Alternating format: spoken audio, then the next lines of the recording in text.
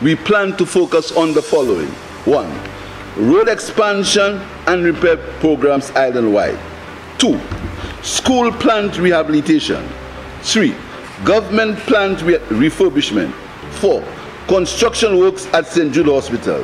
Five, commencement of work on the Soufriere Hospital. Six, establishment of the Castries Urban Polyclinic. Seven, completion of works on the La Ressource Wellness Center. Eight, rehabilitation of sporting facilities, including Darren Sammy Cricket Ground, for readiness to host the ICC Cricket World Cup, the refurbishment, the refurbishment of the Vieux Stadium, Min, the Mindoo Phillip Park, and Marchand and Marchand Grounds, the Bellevue Playing Field, and the Gros Islet Playing Field.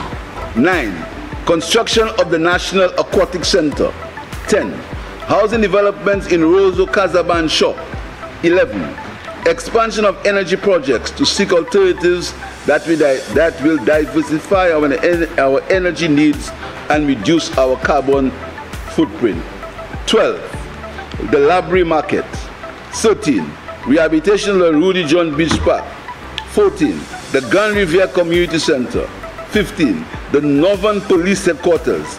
16. The Northern Police Auditorium. 17. Completion of the custody suites. 18. The Cul-de-sac Community Center. 19. Community Center for Castries North and Castries East. 20. Completion of the control tower at the Hewanorra International Airport.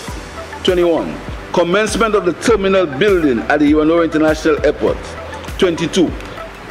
Private public sector construction by GPH at Port Castries and Soufriere. 23. The Canaries Market. 24. The Micoud Jetty.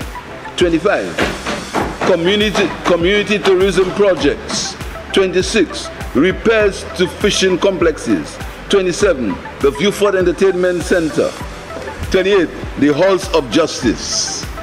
29, the digital infrastructure enhancement. 30, investments in upgrading government services to online platforms. Additionally, Mr. Speaker, we shall seek to strengthen the, the, the resilience of our fire service, expand food security programs, continue to support our youth and small and medium-sized enterprises, and leveraging the opportunities the blue economy presents.